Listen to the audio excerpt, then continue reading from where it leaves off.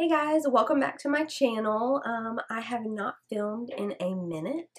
I was on vacation and so I had some pre-filmed content for you guys and then when I got home there was some construction going on at my house. We replaced our floors so that was kind of noisy and then I ended up getting sick. So I haven't filmed in a minute so I'm excited to film this and it's just going to be a chatty get ready with me. We'll talk about life and um, just everything that's been going on lately with me and in the world. So I'm still a little bit sick. My voice is still a little gravelly, so just bear with me there. Um, and uh, before we get into today's video, I want to remind you to give this video a thumbs up and subscribe to my channel. It means so much to me when you guys subscribe. It really helps my channel to grow. And um, make sure that your notifications are turned on so that you are notified whenever I upload a new video. So uh, let's hop right in. I'm trying out a new foundation that I've never tried before, just new to me. It's the Too Faced Born This Way um, foundation, and it's the Undetectable Medium to Full Coverage Foundation. I'm going to be doing a full day wear test of this one, so make sure you guys are subscribed and ring the bell so that you are notified when I upload that video.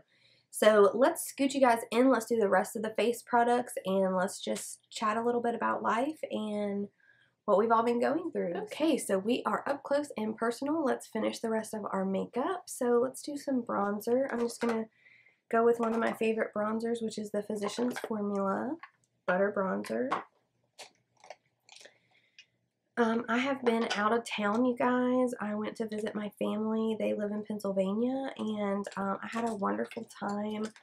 My grandma is 90 years old. She'll be 91 this year. So um, it was such a joy to get to see her. Haven't seen her in two years because of the pandemic. Um, we all waited to be able to get vaccinated before we traveled to see her because we wanted her to be safe as possible. And she got vaccinated, and uh, most of our other family has been vaccinated that live in other states. So we were able to visit her this year, and um, I think that she really needed that. She's been lonely, and I think it's really good for her to have people around. There's people that live up there, but you know, people have jobs and they have lives, and you know, you can't fault them for that. And when we go up there, we're on vacation, so we just we have that luxury of spending all that time with her that the people up there don't, you know, necessarily have. So it was really nice to get to visit her. Um, I was really thankful that we were able to do that this year. Uh, the weather up there is amazingly beautiful. They live right um, kind of close to the Canadian border in Pennsylvania, so pretty pretty far up north. Um, I flew, my parents drove. They just, that's just what they prefer. Um, I've driven before with them and it's fine. But um, being pregnant and just, you know, being in this state, I didn't want to have to sit in the car and the plane tickets were relatively inexpensive. So I just opted to fly this time. I didn't bring my kids with me. Um, I just went by myself, which was really nice. Um, just pause for a second. We're going to try this new Jason Wu um, Matte Agave. um, not blush, eyeshadow palette. It's an all matte palette. I'm excited to use it. I saw this at Target. Um, and I picked up a couple of the Jason Wu products. So um, let's get into that but yeah, you guys, it was kind of nice to just go by myself and not have to worry about the kids, you know, needing to be entertained or, you know, worry about bringing their car seats and all that. Um, I love my kids, obviously, but it's kind of nice to have that alone time, that mom time. And um, soon I'm going to have three kiddos, so it was kind of nice to get that time in before um, I reached that stage of life, you know. So this is an all matte palette. Um, it doesn't have the shade names, I don't think. So I'll insert some swatches for you guys. And when I insert the swatches, I'll just go like three, three, and three. Okay? So that you guys know. And we'll go from light to dark, light to dark. Okay? So let's just start out. Let's lay down a base. And let's see here. I'm going to go right into this shade right here. It's kind of like a peachy shade. It's kind of almost the same color as my skin.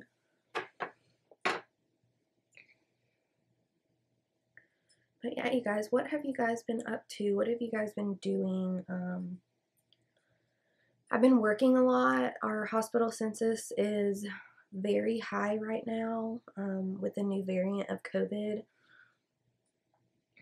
and, you know, strangely enough, our I work in labor and delivery and I work in the emergency department for labor and delivery. But strangely enough, our census has also been high. Um, I don't know if that's really strange or not, but we have had a lot of sick moms with this new variant, and it's just been really challenging, you guys. It's it's really hard to watch people um, being sick and struggling to breathe and um, being scared. And it just kind of compounds that whenever you've got somebody who's carrying another life, you know, they're worried about their baby, their focus isn't solely on themselves. But you know, the first rule of OB for us is that we save the mom first, you know, because with no, without the mom, we have no baby. So it's just been a really challenging time for us. Um, the nurses in the other units in the hospital, it's been really challenging for them because their census is a lot higher than ours. And a lot of their patients are a lot more critical than ours. And, you know, even when our patients become critical, they become their patients. So um, I really feel for them and I'm, I'm really sad for them that they're having to kind of go through this. You know, it's it's really hard because as a nurse, you're wanting to take care of your patients, you're wanting to do the best for them, and um, you know sometimes that's not always um, an option, just based on the condition of your patient and the availability of resources. Um, our hospital does not do ECMO. We do have a local hospital that does, and we're very fortunate that um, sometimes we can transfer over there. But sometimes that's not always possible because they can only have so many ECMO machines running at one time. And there's also only so many available. So um, that's just a really hard thing, you guys. and as a nurse, you always want to do everything you can for your patient. And it's frustrating because you want these patients to be okay. And it's frustrating when they're not vaccinated and they're really young and they're leaving behind a family and children because um, there was the option to get the vaccine. You know, not everyone has that option because some people are immunocompromised and some people are too young to get the vaccine. But um, it's really hard when people don't um, want to get it. And everyone has their own personal choice and their own personal freedom, and I respect that and I advocate for that but I also advocate for making decisions based in evidence and science. And the evidence shows that the vaccine is effective and the risk for side effects are extremely low. And even if you do have side effects, the risk of the side effects of COVID is death. And the long term side effects of COVID are um, starting to get studied a little bit more. They're finding permanent brain damage and a lot of other um, permanent damage to internal organs. So to me, that's very scary Um, that's not something I want to deal with. I would rather deal with the effects of the vaccine, like, you know, joint pain, or some people have said they have ringing in their ears and things like that. Um, I would much rather deal with that than years down the road when I'm 40 and I just dropped dead of a heart attack because my cardiac system has been so destroyed by COVID. That's just my personal opinion, you guys. Everyone is entitled to their opinion. I try to base my opinion in fact and medical research. And that is, you know, how I formulate what's going to be the best thing for my family. And you have to do that for your family as well. But it's just been a really hard and stressful road for the nursing community and just the medical community in general. It's just not something that anyone ever anticipated. Like, not that when you get into nursing, you're not like, oh, I'm never going to have to take care of a sick person. Like, I'm never going to have to take care of, you know, working in the middle of a pandemic. But it's just not something that crosses your mind whenever you decide to become a nurse. You know, you're not, you're wanting to help people, you're wanting to, you know, work in whatever specialty it is that is calling to you. And it's not it's not something that you think about whenever you're in school or whenever you're deciding what you want to do. It's not something that you're like, oh, well, if I become a nurse, I might be working in a global pandemic and be so stressed out all the time. It's just not something that you really consider until it happens. Alright, guys, so the eyeshadow palette is okay. I want to try it a couple more times. Um, I'm not a huge matte, like all matte look wearing type of person. Um, I do like some shimmer and some sparkle. But these blended out really well. Um, they look really nice. Kind of getting a shadow over here. I think it's just the, the lighting. Alright guys, so I'm going to finish the rest of the eyes off of camera. And I will be back to show you guys the completed look.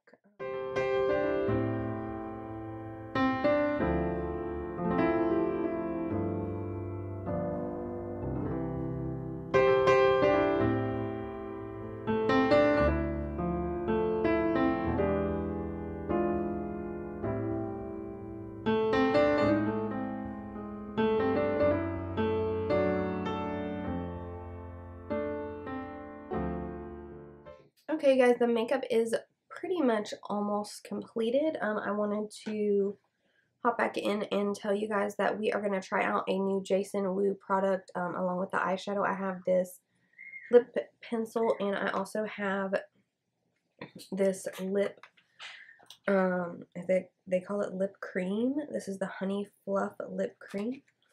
This is in the shade number one, and then the liner is also in the shade number one. And this is the lip cream.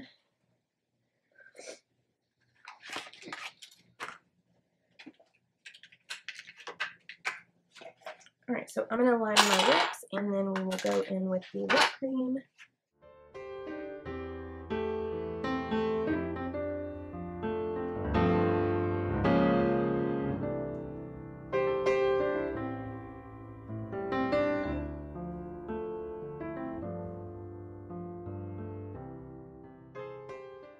Okay, guys, um, I, I like the lip pencil.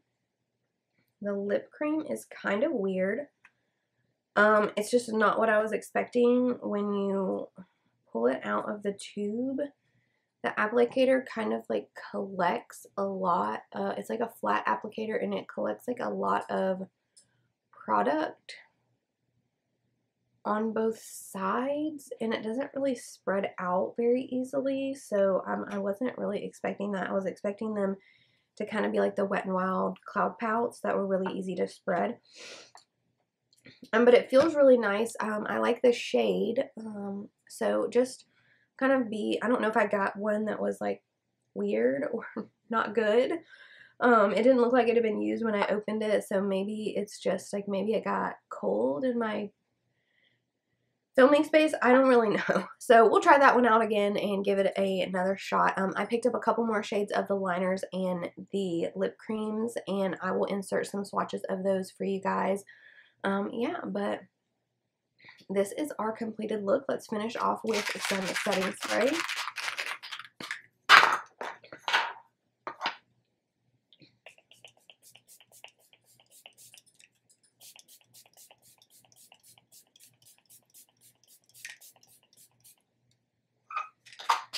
Alright you guys, so um, that is it for today's video. Um, I hope you guys enjoyed watching this, something a little bit different, a little get ready with me kind of chat to get things off my chest and just tell you guys what's been going on with me and how I've been feeling lately.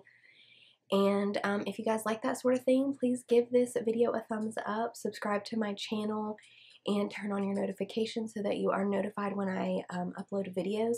Let me know in the comments down below what kind of content you guys want to see. Um, I'm into doing anything and everything. I can do more lifestyle type things for you guys. I can do cooking. Um, I can share some recipes with you guys. I can do some sewing tutorials. Um, I can do all kinds of things just depending on what you guys want. Um, I love doing beauty and especially right now when it is such a stressful time for me personally, I just feel like um, just disconnecting and just being in makeup and talking to you guys and just kind of having that disconnection from all the horrible things that are happening out there is um, just really helping me out a lot. I'm glad to be back filming and um, I hope you guys stay safe out there. I hope you're having a great day, whatever you're doing, and I'll see you in my next video. Bye.